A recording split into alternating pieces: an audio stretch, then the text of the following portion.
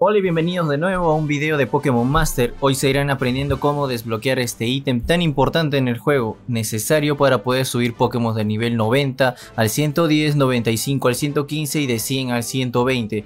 Así que vamos con el video.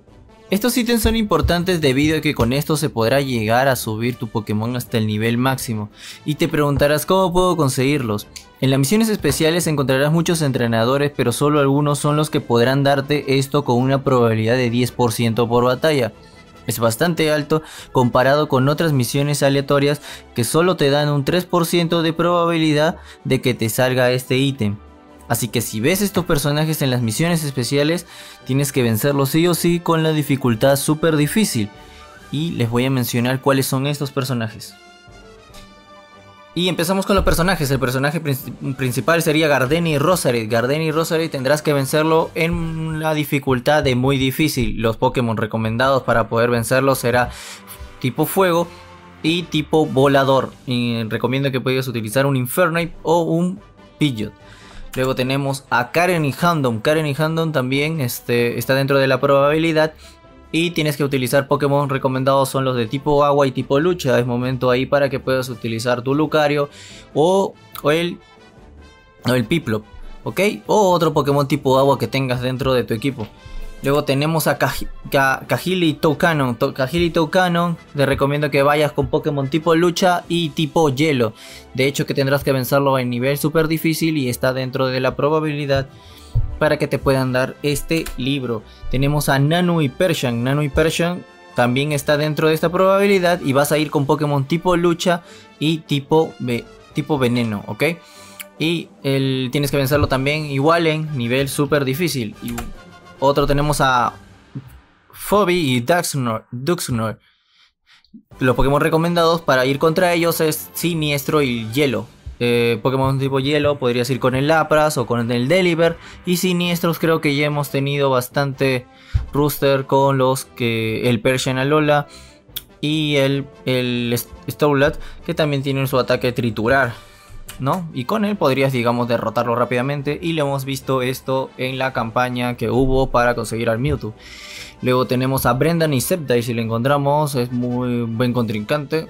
Eh, vamos a ir recomendando ahí con tipo tipo Steel, eh, tipo Cero y tipo Veneno. ¿ok? Todo esto de aquí vamos a tener que vencerlo sí o sí con nivel súper difícil.